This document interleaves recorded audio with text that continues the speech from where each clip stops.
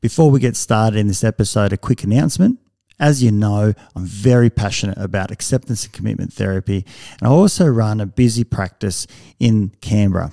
We're currently looking for psychologists who are registered in Australia to join our team, who are also passionate about learning about ACT. We provide supervision on a group and individual basis and training around ACT. So if this is you, if you're interested, please express your interest at strategicpsychology.com.au forward slash careers. Look forward to hearing from you. And now back to this episode. Okay, life can be crazy. You're feeling like you're sinking, just trying to find a meaning. It's time for better thinking. Yeah, better thinking. Time to tune in. Let's go. Welcome back to Better Thinking. My name is Nesh Nikolic. Today's guest is clinical psychologist Dr. Kaitlin Harkess, who's done research into yoga, looking at the empirical evidence for positive outcomes with practice. Kaitlin really knows her stuff. It's quite incredible looking at the inflammation response, biological markers, epigenetic change. This is really an episode episode worth listening to, so enjoy.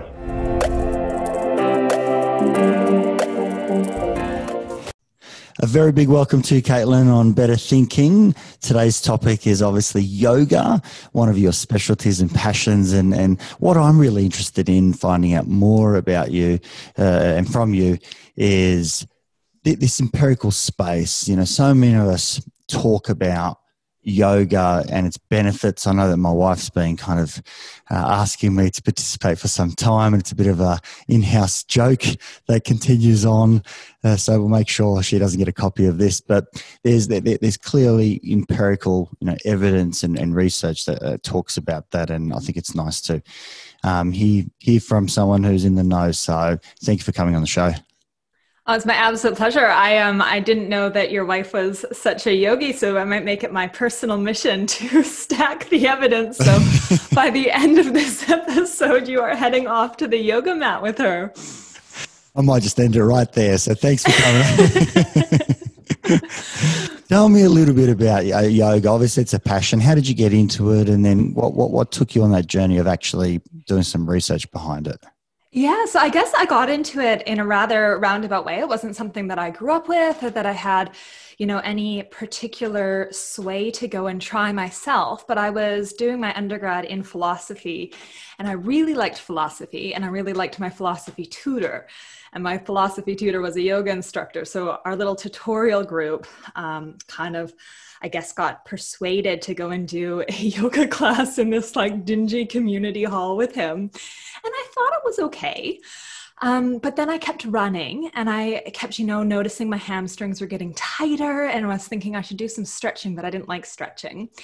So I went to go do some organized stretching in the city I'd moved to for university. And I stumbled into this yoga studio that was like dingy again and in this basement and like dim lighting. And I thought, this place is disgusting. And I did the practice and I loved it. And I went back every day. Um, so that was the way I found I found yoga. And what I noticed happening was that my emotional well being and my capacity to cope with my studies and the stressors that came with that through this practice of yoga seemed enhanced and improved. I just felt like I was tuning into uh, a different version of myself, or like I had a different resiliency than I'd experienced in the past. So I was really interested in this and motivated. So I went and completed a yoga teacher training. And then, interestingly enough, as I was teaching, other students started sharing with me their experience of yoga and these transformative effects that this practice they perceive to be having in their life. So I thought that was interesting. I finished my um, philosophy studies, found no work as a philosopher, and continued teaching yoga for That's a while. Odd. That's odd. you know, isn't it just? I pictured myself having a pipe and being in a cafe, but it didn't really go anywhere. So I, um, I guess I was reading a lot on yoga and psychology just from personal interest and, and nerding out a little bit, you know, highlighting and bookmarking and my housemate sort of suggested that maybe I might want to do something about this interest of mine that was becoming a full time research hobby. And I ended up looking into psychology and coming back to study. I actually, um, I'm from Canada, so I moved here to Australia and did my PhD in clinical psychology here in Adelaide and actually looked at whether yoga could be used as an intervention for pe- people experiencing high levels of stress, psychological distress. And I, I guess I was really impressed by the results. It probably validated something that in my heart I thought might be true. It had been my experience, it had been the stories that people had passed down, but seeing that research evidence I think was really powerful. It's so important because obviously there are so many practices out there, and there's there, there's certainly anecdotal evidence, um, and you know, there, there, there are whole industries that are that, that are based on anecdotal evidence, um, but they just don't get substantiated with with you know, proper research evidence, you know, scientific evidence to, to, to go out and say there's actually something going on here, rather than you know something just as strong as placebo. Um, and so I think I think it's uh, so important. So what, what, what did you find? Uh, well, how did you go about running your research and and and, and yeah. I guess I mean just to start a little bit. I mean, yoga is something that we do here often. You know, it's great for stress reduction. Go and do it. And as you said, sometimes the evidence isn't always there when we talk about these practices. But yoga is interesting, isn't it? Because it combines physical exercise, which most, most of us working in the field of psychology would say is really important for well being and, you know, has demonstrated antidepressant and anxiolytic effects. And then yoga combines mindfulness, which is another area that more and more research is supporting the benefits of mindfulness on well being and mood and positive affect. And then also, we add into it breathing exercises, and controlled breathing is something that has long been used in the field of psychology. So, yoga brings these three areas together. So, perhaps it's not surprising that a practice that combines these three evidence based approaches itself did um, did show a beneficial effect. So essentially, can I add one as well? I found in the sorry, hmm, can I add one as well?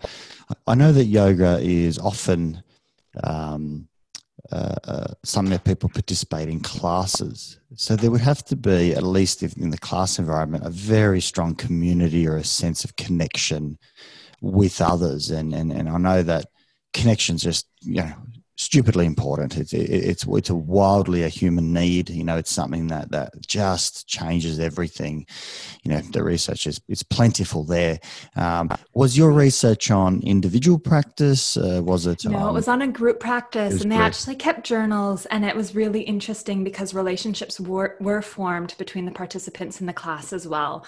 So it's interesting that you bring that up because I agree. You know, social isolation is something and you know we're we're in lockdown in different parts of Australia right now and globally. So this is something that I think we're probably even more acutely aware of right now. But social connectedness is something hugely beneficial for well-being. So i think you're right.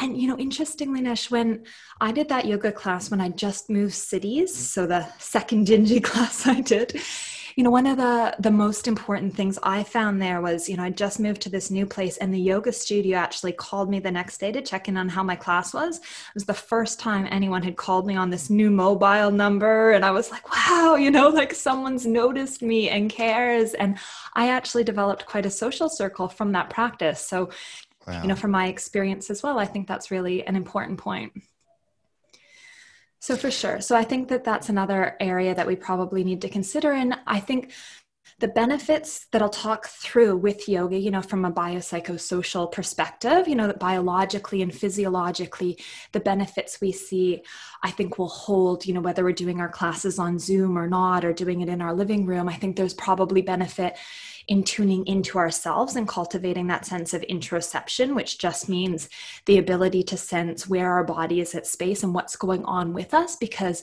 the more we can tune in, the more we can start cultivating the sense of self regulation. But in a class where we might be kind of connected energetically with the people around us and beside us, there's an incredible benefit to that sense of flow with another individual.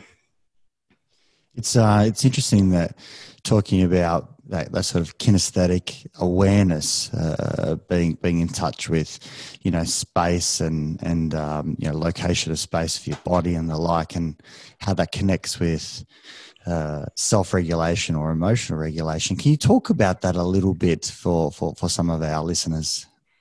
For sure, for sure. So when we are in a state of distress, often what's happening is we're moving into a fight or flight, a panic response. So, what happens when we are, and this obviously goes beyond in trauma, but we'll start with the fight or flight, the panic response. When we move into a panic mode, our body starts to t- tell us to move, that we need to do something, we need to change the situation, right? So our heart rate starts going, our breathing starts going, we start to feel really warm, we start to feel really uncomfortable, perhaps in our bowels, and we start to have trouble thinking clearly. And all of this makes sense because if there's a tiger running for us, we want to get away from that tiger. So increased blood is going to go to our arms and our legs so we can like propel and get ourselves out of there. We don't need to be digesting breakfast because we're about to be lunch. So getting that blood out of the digestive system makes sense. That's not there for survival. And we don't need to be doing high level math sums and all of the high level thinking that the prefrontal cortex, the front part of our us to do.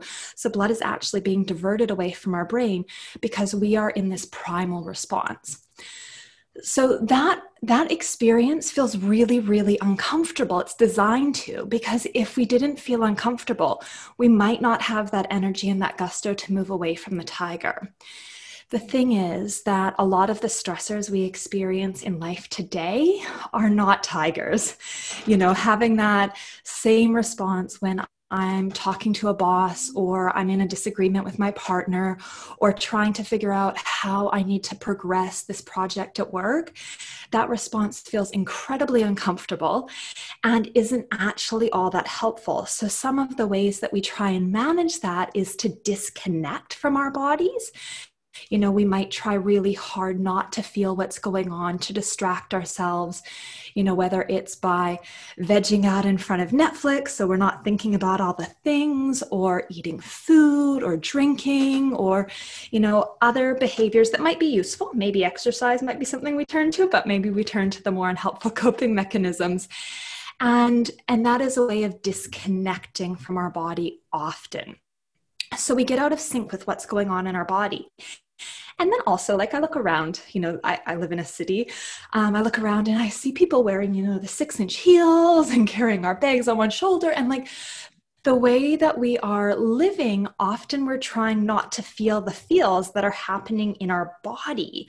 So we're becoming more and more disconnected then i guess on the extreme end people who might have you know experienced a trauma in their lives or had really um, significantly adverse experience happen when they're when they're younger um, or you know in a situation where they couldn't run or fight they might move into a state of a freeze response. So, a freeze response is where everything sort of shuts down in our body. And again, I like to think in evolutionary terms. So, if we think back to that tiger kind of running on the savannah, if we think of an antelope, let's say, so this antelope is running away from the tiger and it's using that fight or flight response and it is in a full flight mode, and the tiger goes and it's about to bite that antelope antelope, the antelope is not going to escape the tiger.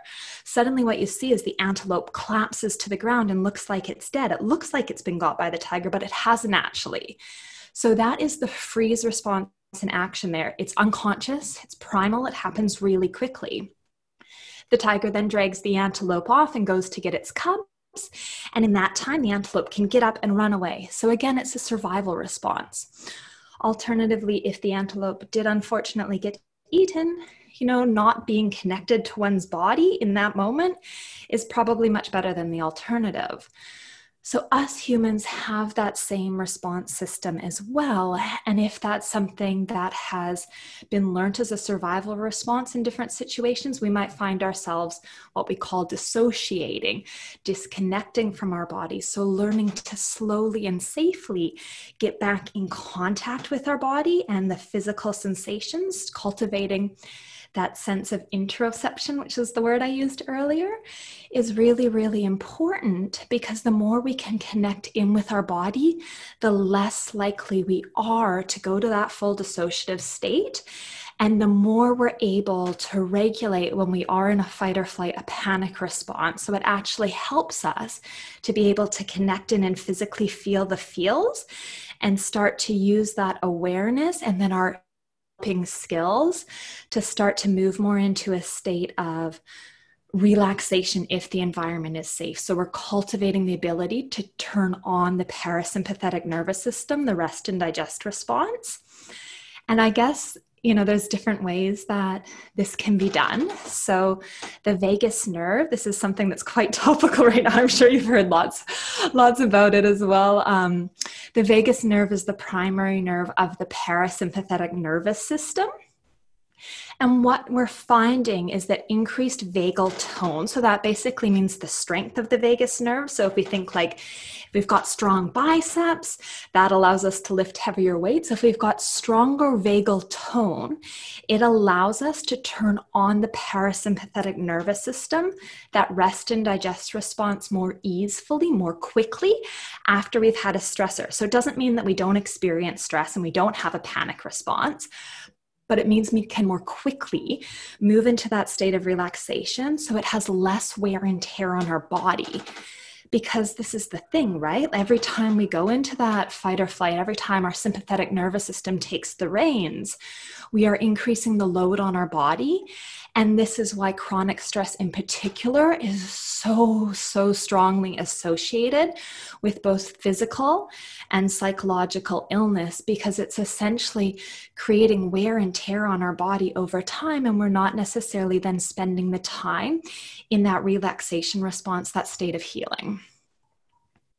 So it's really important to appreciate that throughout not even a day, throughout weeks, throughout months, potentially even years, we over time accumulate a stress response that is an unconscious stress response of, of the, the tension, the load that I hold. And if, if I'm not doing something to release that, I'm staying for a longer period of time in the stress response rather than the rest and digest response. Um, and yoga is one of the, the, the, the, sort of ways that we can kind of begin to see that. You know, if we don't, there's a tendency to, I'm just trying to summarize this, there's a tendency to distract from those stressful feelings. Uh, and slightly over time, that distraction might look like physical things like, you know, looking at our phone or something, but we begin to actually disassociate or distance ourselves from feelings to try and cope. And so over time, we become less and less conscious, less and less aware, less and less connected with our feelings, but more stressed. I think so. I think so for sure. Like, I guess I'd be careful with um, saying that we learn to disassociate over time, just because I think that that particular response evolves in a really intense situation. But for sure, okay. we disconnect from our feelings. Disconnect's and, a better word. Yeah. Yeah, yeah. And I, I think that you know, you mentioned the phones, which is I think an incredible point. You know, because we all know that we turn to our phones in these moments of boredom or stress, or just when there's a lull and it's a way of yeah disconnecting from what's happening in the moment but the phones don't always reinforce us with like positive emotions or feels. They can you know take us down these rabbit holes that actually don't feel that good and then perpetuate perhaps some of the unhelpful thoughts you know experiences we might be having. And and then again we create that cycle of escapism. Mm. So I think that's a really interesting response. I guess um, in terms of that load, so I would call it the allostatic load. So essentially, our body's trying to maintain a state of homeostasis, like it's trying to find its place of balance. So it's trying to constantly regulate itself. And when we do go into those panic responses, that fight or flight response, that's essentially I guess it, it, uses this thing called allostasis. The body is responding to the environment, to the situation, and that's the allostatic load, the wear and tear, which you know makes makes so much sense just sort of for listeners to have like an analogy to work with. If you're in a cold environment, you start shivering. That's your body's response to try and warm you up. It uses a lot of energy, but it keeps you alive. It keeps your body warm, and that's that's sort of what's happening with this allostatic load that might be coming from the fight or flight response and that that doesn't happen individually. So it's connected systems in our body. So we talked about the tiger and we talked about how maybe having a meeting with our boss or you know maybe a difficult conversation with a partner might trigger this stress response. It can also be you know images that might cross our mind thoughts that might cross our mind. It doesn't even have to be something that's happening in real time. So we can have this psychological event and it elicits the same response. So the sympathetic nervous system that fight or flight response goes on but along with it something called the hypothalamic pituitary adrenal axis gets triggered, which is the hormonal system in our body. So there's this hormonal uh, response that starts. And these two systems being activated also send a message to our immune system that something's wrong. And that tells our immune system to, to get ready and again, evolutionarily speaking, makes sense. If that tiger bit us, we'd want our immune system on to fight the bacteria that we might get and the infection risk that we might have in that moment. But again, if it's a psychological stress, if I'm imagining, what could go wrong when I head to that meeting tomorrow? My immune system kicking in isn't that helpful. And it functions a lot like the boy who cried wolf. you know, that story where the boy, you know, is watching his flock of sheep and he gets a bit bored one day. So he heads down to the city and he cries, Wolf, Wolf. And all the villagers come running to help him. And then there's no wolf there. And he does that a few days in a row. And finally, like the third or fourth day, he heads down to the town and cries, Wolf. And no one comes to help him. But the thing is, that day there's a wolf there. And that's kind of what happens to our immune system. We're telling it something's wrong, something's wrong, something's wrong. So it's releasing all of these cytokines. These are the little things in our body, they're little proteins, and it's essentially inflammation. And that inflammation is brilliant when it's going to fight bacteria or an infection or something that's, you know, invaded our body's system. So we want cytokines in those moments. But the thing is, if if there's not much happening, having high levels of inflammation in our body is actually not that helpful. And high levels of inflammation are associated with a number of illnesses, including things like rheumatoid arthritis, where it gets trapped in the joints. So we know then that you know we we want to be mindful that our immune system is also getting triggered and then with those high levels of inflammation for a period of time they kind of burn out so then we might get more sick actually after we maybe catch a cold when we've been in this period of high stress because we don't now have an immune response. Does that sort of make sense? Like it's this weird high and then drop off response that happens with our immune system, neither of which is ideal if it's not appropriate to what's actually physiologically, biologically happening. Is it kind of like the inverted U um, in terms of? Yeah, that's exactly what it's like. Yeah, yeah. So if if, if there's sustained uh, immune response over a long period of time, that, that's heightened. It, it, starts to lose its efficacy. Um, there is a bit of a sweet spot, um, but also uh, it needs to be activated uh, from time to time because if it's very, very, very low, it's not prepared, and so it needs to kind of sit um, or at least at least have range in it and not stay at either of those those um, uh, I suppose too high or, or, or in some sense not not not being activated much at all. Totally. And uh, while we're talking about that inverted U, I think it's good to highlight that the same inverted U applies to stress because often when we talk about stress, it kind of gets a negative a negative sway, doesn't it? You know, we're sitting here talking yes. about, oh yeah, stress has all these negative effects, but it it's distress that has the negative effects on our system. Again, at a high level, or pardon me, a medium sort of level of stress is what we might call eustress, eu just being the Greek word for good. And that is actually really adaptive. It leads to high performance. So we want to have some stress in our lives. We can all think of those days when we're on holidays and we have all these ideas of what we're going to do and we don't even get out of bed. We don't have enough like stress to kind of get us out doing the things. We need a little bit of stress to get things things done, like a little bit of stress, got us both here this morning. You know, we had our timers, we had our schedules. We need some stress in our lives to actually be effective. So I want listeners to be mindful that stress is not a bad thing.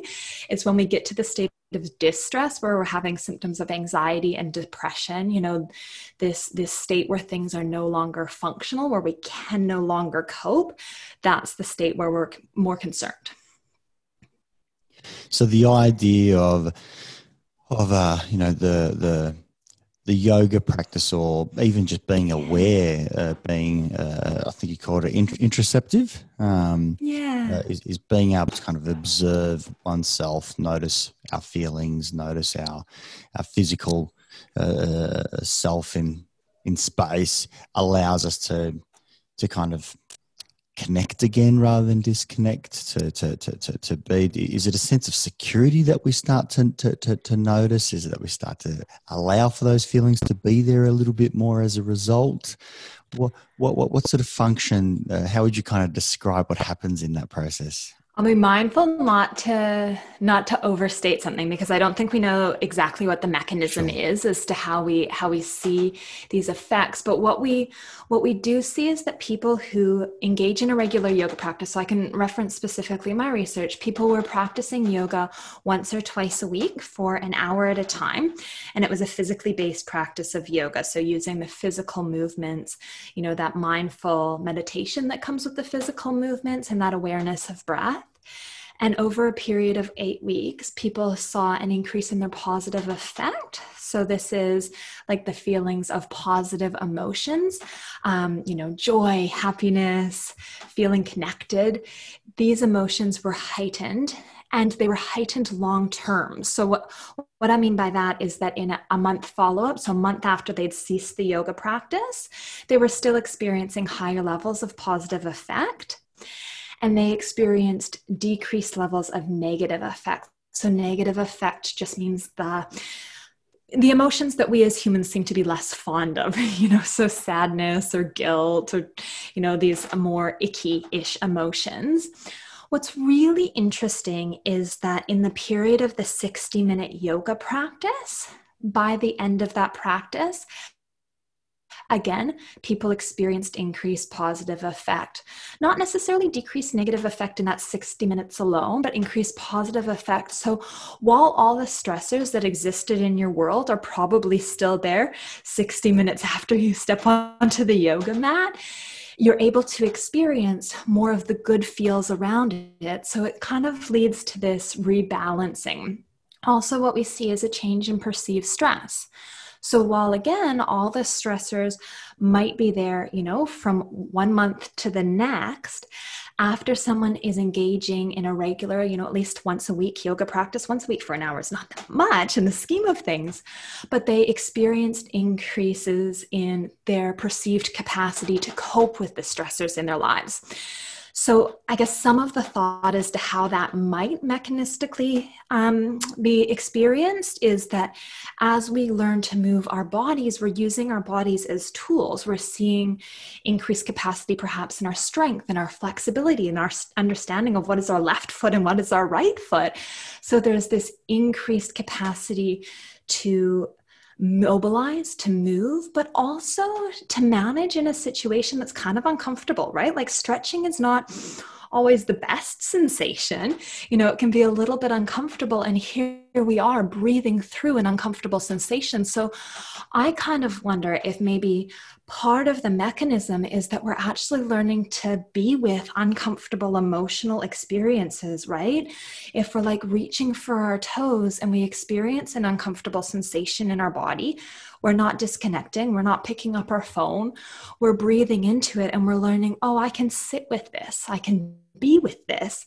This hasn't got the best of me, so to speak. I can exhale one more time. I can breathe in a little bit more.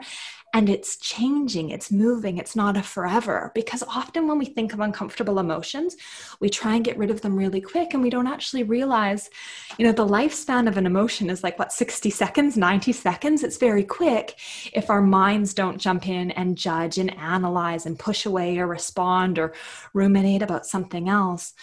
So, in a yoga practice, you actually have this opportunity to experientially experience sensations in your body, and emotions really are sensations in our body.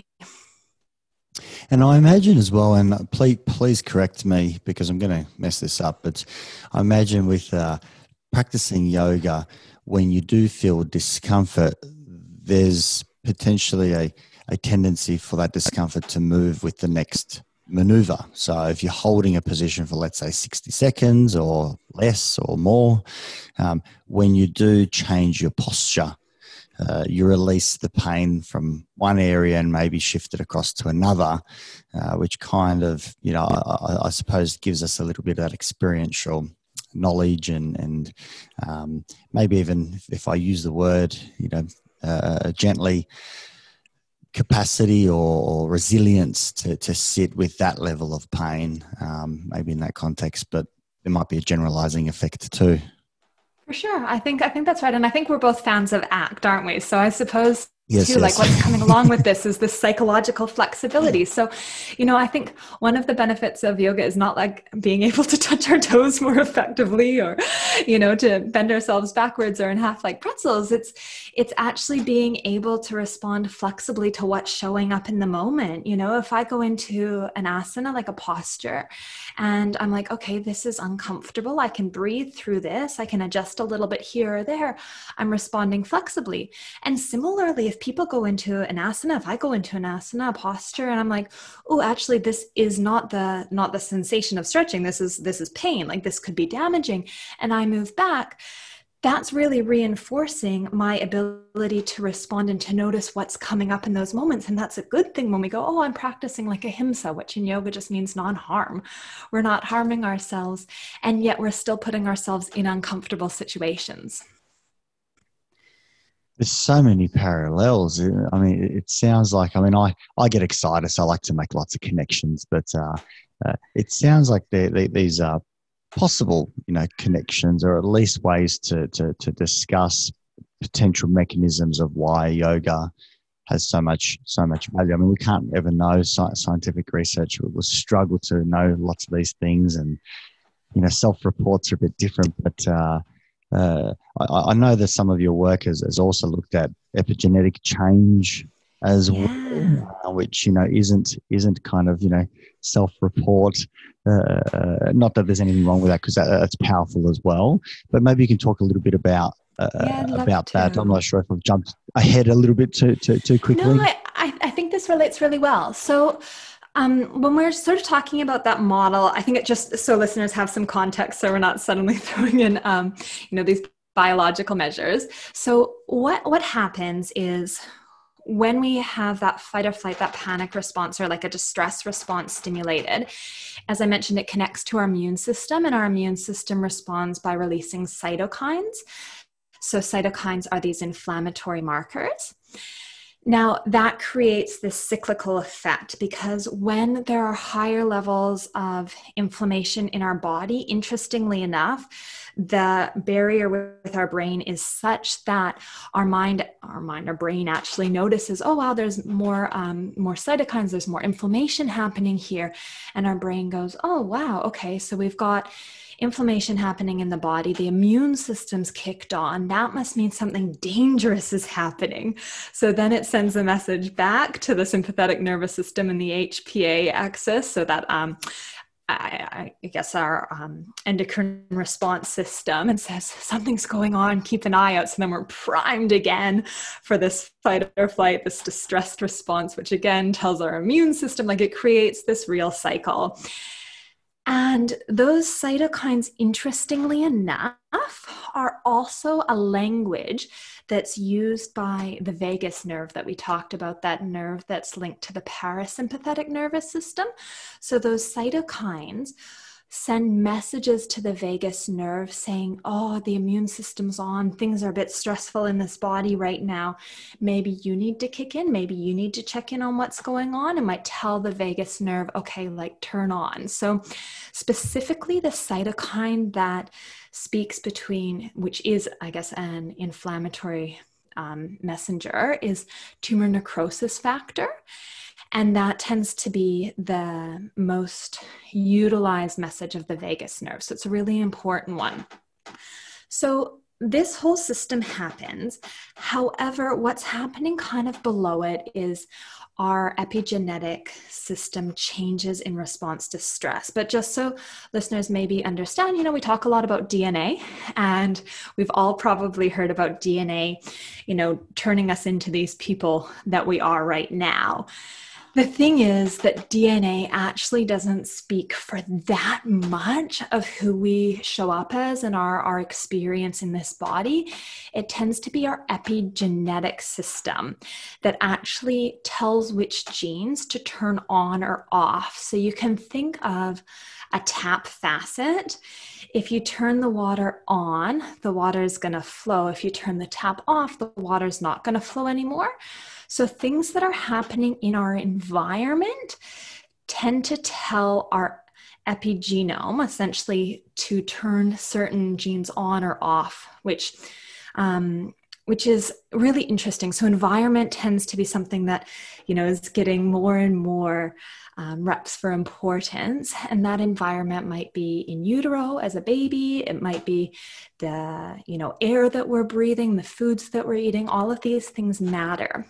So, what we're do- learning more and more is that actually things that happen in our environment short term can also have an epigenetic effect. So, if we are in a really, really stressful, difficult situation, we are perhaps turning on genes that are associated with the higher levels of inflammation that we just talked about. So that's essentially where some of our systems are getting the message to increase those levels of inflammation. But also, you know, then associated with that might be illness, disease that comes with these experiences. So it's quite complicated. It's not as simple as like one one tap we turn on, but it's easier for analogy. It tends to be this triangulation effect. So, what we looked at in um, the research I was involved in was looking at proteins in the blood, so those cytokines just in the blood peripherally, but also looking at epigenetic changes associated with the immune system. And we found not much happening in those bloods in the system. It tended to be that I guess when we were conceptualizing it, a lot of them bottomed out. So, what that means is maybe our population wasn't as as stressed as people who might be in more distressing situations perhaps. You know maybe things were, were tough but were manageable in the scheme of how we were measuring these bloods. Though we did see like a little bit of change in something called interleukin 6 which is similar to tumor necrosis factor. So something was happening there but we did see with the epigenetics that the tumor necrosis factor changed. So we saw a change in the epigenome at that particular receptor site. So that's really interesting. And I don't want to overstate what that necessarily means. Like it, it could be related to the vagus nerve. And, you know, this hypothesis that one of yoga's mechanisms, when we're talking about mechanisms again, is through increased vagal tone, be it by like the compressing and stretching but also through that meditative effect that might happen. But something's happening there. So more research is definitely warranted in this area. I guess the the trouble is, you know, it's quite expensive and where pharmaceutical companies will often pitch in and, you know, support different biological measurings where there is a product to be gained, there's perhaps less motivation for um, for incredible funds for a yoga practice. But I think the fact that in sort of a small, you know, pilot study, we've seen something that's incredibly powerful to kind of contextualize it a little bit as well. There's also been epigenetic changes demonstrated in a day long meditation. So, people that went and participated in an eight hour meditation retreat, also epigenetic changes were seen for that. So, we know that these healthful well-being kind of activities that we're doing they are leading to changes that are measurable at a cellular level which is pretty cool. So if we know that stress has an effect we try and balance it with something else you know? It sounds it, it certainly sounds extremely plausible. I know speaking with david sloan wilson recently who's a, a evolutionary biologist he was talking about and I'm I might sort of paraphrase this a little bit incorrectly. Might have to go back to that that podcast, but he was talking about um, some animal studies uh, and you know, observational as well within within humans when um, children are brought up in high distress environments. Uh, that we can see the um, uh, puberty response uh, occur earlier, um, and that would kind of make a bit more sense. And obviously, sexualized behavior, um, because if there's a threat in the environment, evolu- from an evolutionary perspective, it's important to go out and be able to um, uh, procreate, uh, and and they've been able to, to, to, to, demonstrate that, which kind of shows some pretty remarkable changes. And I, and I believe, and look, this is where I'm probably stepping out of line. I believe that might happen in utero as, as, as well in terms of that, that methylation of, of particular genes, um, you know, is priming uh, an offspring to, to be ready for danger. And um, I'm, I'm sure it extends well beyond that. But uh, you know what, yeah. what, what you're saying, you know, it, it, sounds very much in line with, with, with those other types of studies. So uh, it's, it's, sure, it's and I, I can't think of the link of this, but I think this will fit really well with that. Is I'd heard that there was a study done that was looking at again it was animal models i believe it was poor little rats um, but they they took some rats and they they gave them the smell of cherry blossoms and whenever they smelt the cherry blossoms they would shock these rats so there became this adverse reaction to the smell of cherry blossoms, quite understandably. Then they looked at these rats' offspring, and I believe it was five generations down. If you gave those rats a cherry blossom to smell, they would have a panic response. So they, in their lifetime and in their parents' lifetime, in some cases, and in their grandparents' lifetime, had never had an adverse experience associated with a cherry blossom, but their wiring still responded in a way like it like it was a threat. So I think that that's really interesting that what's happened to our parents and our grandparents matters. You know, and I think that's interesting as well to think, you know, people who maybe are, are thinking of having kids or something like this you know that what you do matters you know if you can make little changes in your life and and change your epigenome and you know subtle changes might actually be handed down for generations to come which is pretty cool you know? We all have this ability to to make transformation and we're not bound by what's happened. For sure we're we're handed a deck of cards so to speak but we can change it. You know i think that's what we're learning more and more about the epigenome is is that it is something that's shiftable. You know, when you use the word methylation, so just so listeners kind of understand, that's one way of measuring epigenomic changes, um, which is kind of like a marker, just a flag that um, that someone who's looking at the the genome can actually see that that these things are measurable, which is really cool. Yeah, are there any particular types of yoga practice that you're aware of that uh, are not necessarily better than others, but you know, w- ones that bring about these effects that we're looking at. Uh, is, is, is there some commonality along the whole? Because I know there's, there's, there's so many different yoga styles and, and, and so on. Anything that you're aware of that we should look out for, or kind of go? It would be useful to you know, make sure we integrate X into our practice. What, what, what, what, what are your thoughts around that? This is very controversial. Everyone who practices a style of yoga is pretty sure that their style of yoga is the best style of yoga. So I'm setting you up um, here. I'm setting you up. I'm trying to like tread lightly. Um, I think I think it's going to be individual, right? We're all different. We all have different things that we appreciate, that we value. So I think we want to find a practice that works for us. And I always when people are asking, "Oh, what should I try or what should I do?" I suggest going and trying a few different studios, a few different teachers and seeing really what vibes because some people try yoga and they're like this is adverse. I didn't like this. I didn't like that person. I didn't like this style. And then they don't go back. So maybe if you think of the fact that it's like a box of crayons, every color is a little bit different. One might feel better at a given moment in your life. You know, try try them on for size and see what works.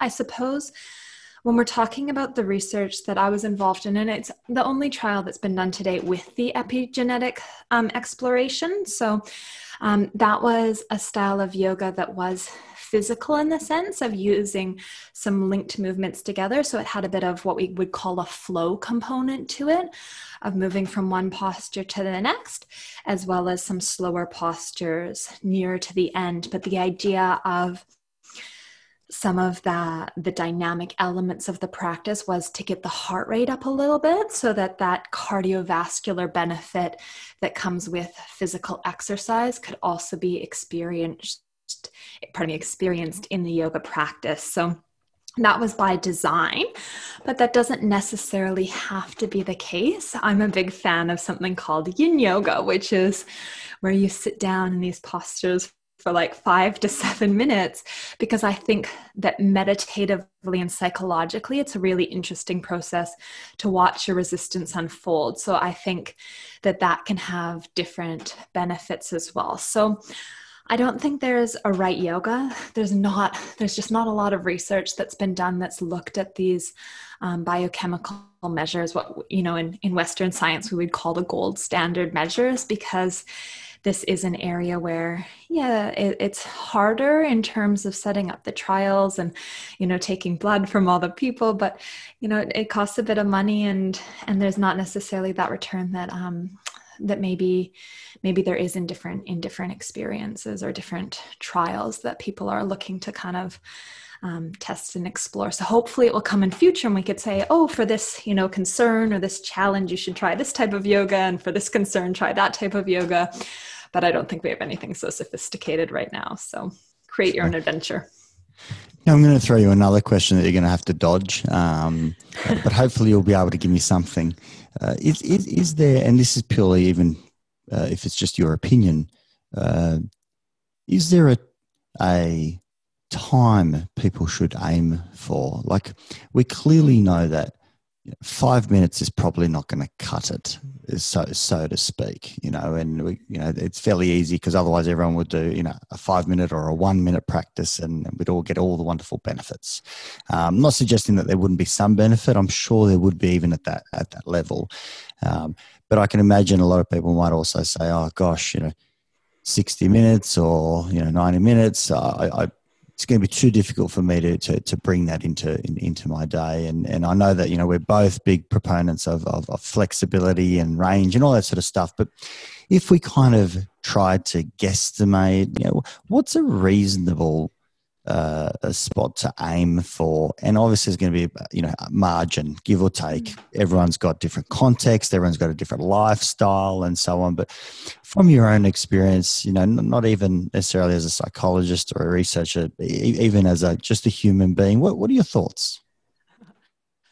Um, as a human being, it's interesting because I suppose, you know, when I started doing yoga, I was doing 90 minute classes every day. And I was like, what's people's problem? Why can't they do this every day? And I was like, in university in my 20s, totally self centered and thinking, I don't understand. I remember, like, when I was teaching too, when I was younger, sometimes people would vanish for like years and then they'd come back and I'd be like, where have you been? And they're like, I had a kid. And I was like, I don't understand how that would influence things.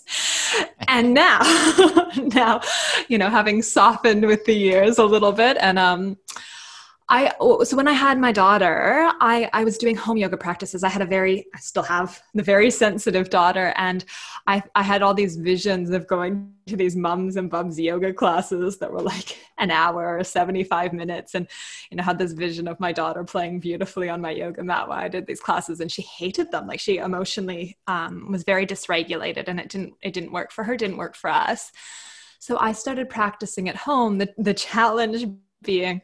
Um, also, her um, attention span or capacity to entertain herself for a period of time was limited.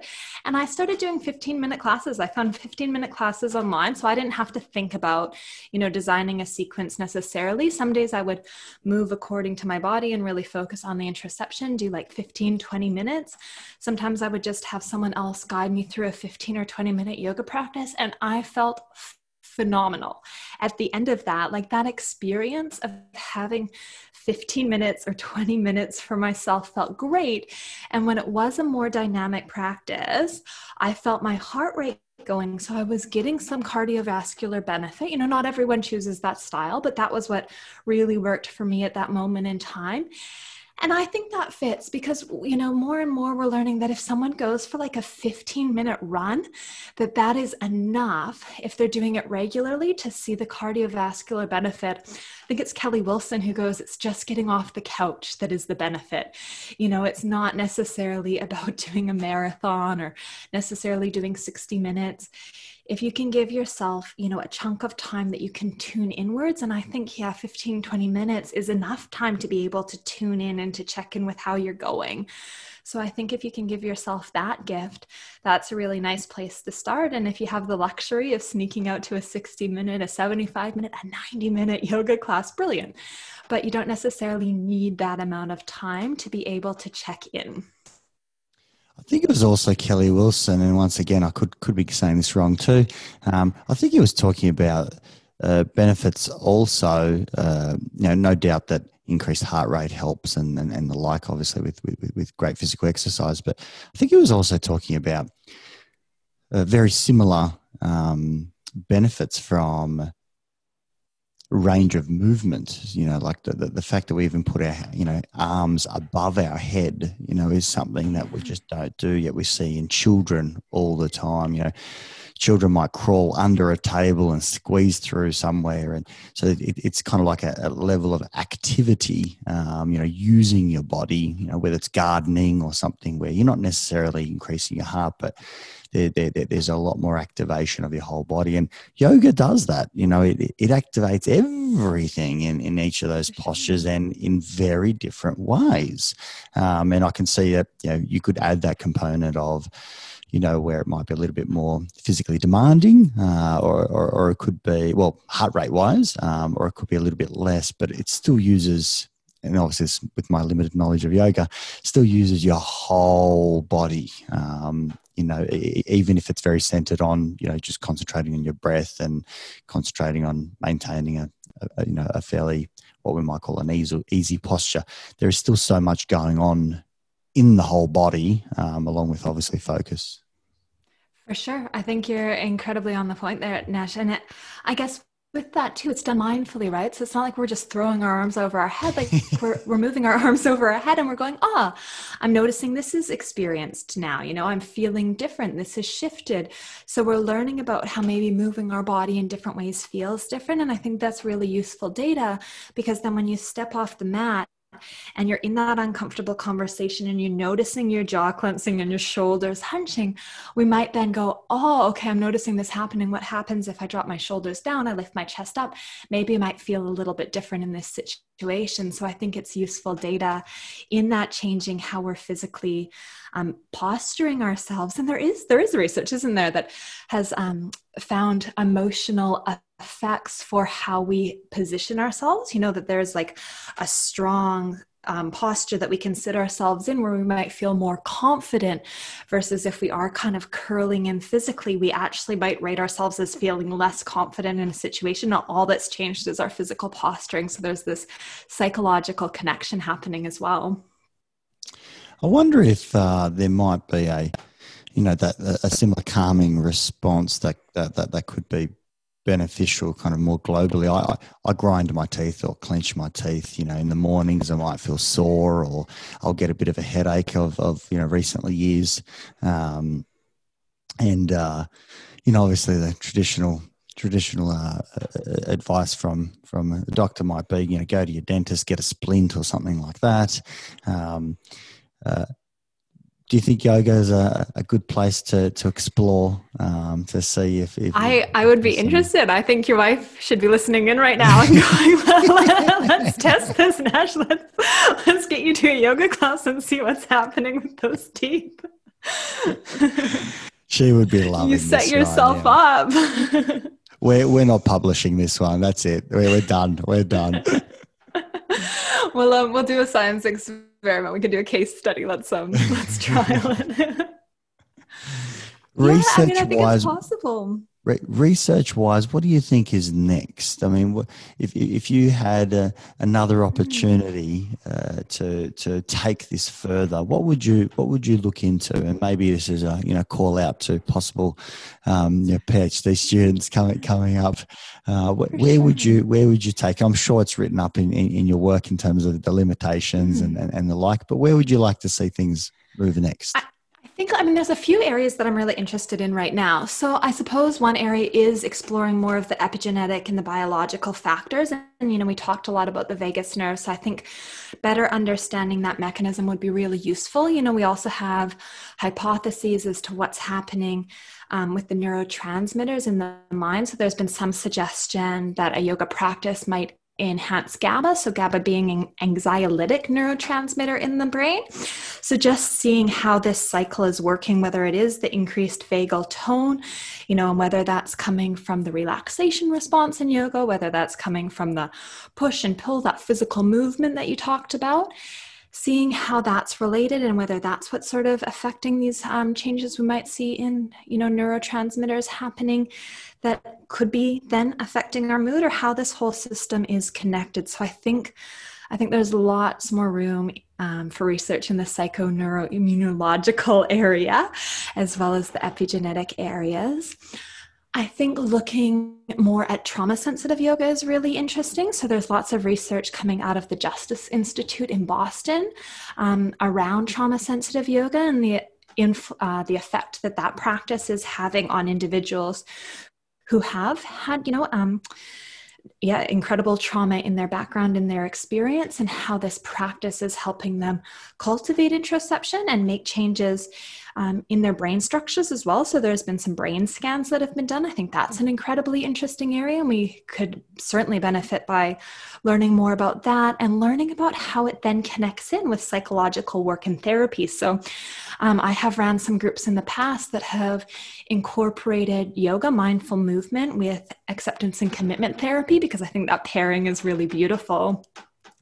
So, how we go about um, continuing to incorporate these areas that that fit really well, because a seated meditation practice isn't appropriate for everyone. I think a physical sort of mindful movement practice, whether it's Tai Chi or walking or yoga, can be really useful at learning to be in the present moment in a way that gives us a fixation point that might feel less dangerous to someone than their own mind. So I think being able to notice that sensation of stretching or movement is incredibly powerful.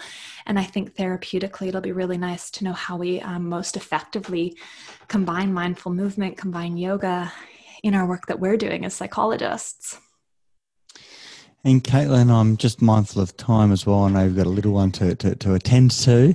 Uh, listeners often also like to know uh, what are our guest practices uh, themselves? So, how, how do you practice? Obviously, you've got a busy lifestyle, there's a little one, a family, you know, all the bits and bobs of, of running a household and the like.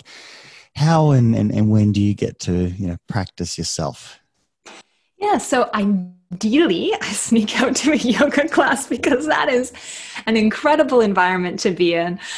Um, so I like to try and get out to a yoga class at least once a week if I can. You know, it doesn't always happen, and if if it's a great week and things are flowing, sometimes I'll get out twice a week. think back to that university self, and I think, oh, you were so lucky.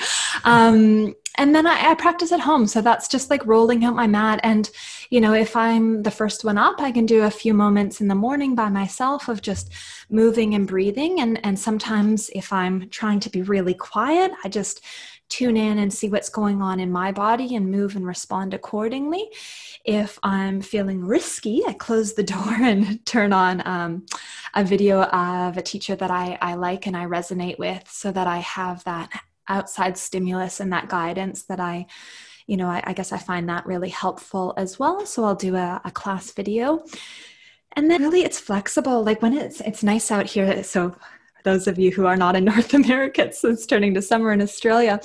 And this is the best time of year for me to practice with my daughter because if we're outside, she can look at things and I can put the mat down and actually do my yoga practice with her. And I think that that's really powerful in terms of messaging because she'll get on the mat and do a little yoga down dog, she calls it. And I think that that's a nice habit to pass on. So honestly, it's like 20 minutes a day that I'll do um, sometimes more if i get out and sometimes sometimes it's really just a seated mindful moment but for the most part it's a 20 minute sort of flow. Beautifully said with so much flexibility in there and that's what makes it so beautiful. I, I imagine that's exactly what what the philosophy of yoga is also trying to instill. You know i know that there is a discipline in the practice but at the same time it's it's also you know, uh, upholding flexibility and, and, and being um, adaptive and the like, and, and you know, similarly, uh, so is ACT. So, um, yeah, be- be- beautiful synergy there.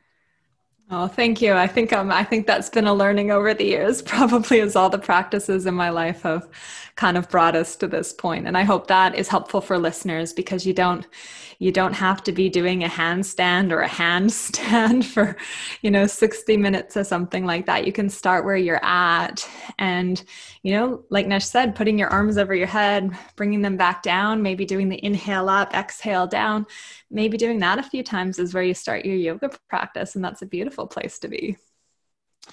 Fantastic. Thank you very much, Kaitlin, for, for your time and your expertise and, and also for your amazing, amazing research. It's nice to know there's empirical evidence that is tying these things together so that, you know, all, all the, all the great practices, you know, going around the world can, can go back and point to something and say, you see, it does work, you know, you should come along and come for it, come for a lesson, uh, which yeah. get to do one day. well, I am um, I'm excited to hear your feedback from your yoga class and to hear how it works for your um, clenched jaw. So, yeah, let's connect soon. Sounds good. Thanks again. If you enjoyed this podcast, please support it by going to iTunes and putting a review, subscribe, share it via social media, and tell others about it. Start a conversation. It's listeners like you that make this able and possible and why we bring in these guests to go out and share their knowledge and resources. And just lastly, if you are a psychologist and you want to go out and be part of a bigger team, develop your experience, and get into some exciting work, come to strategicpsychology.com.au forward slash careers and reach out. I'd love to hear from you.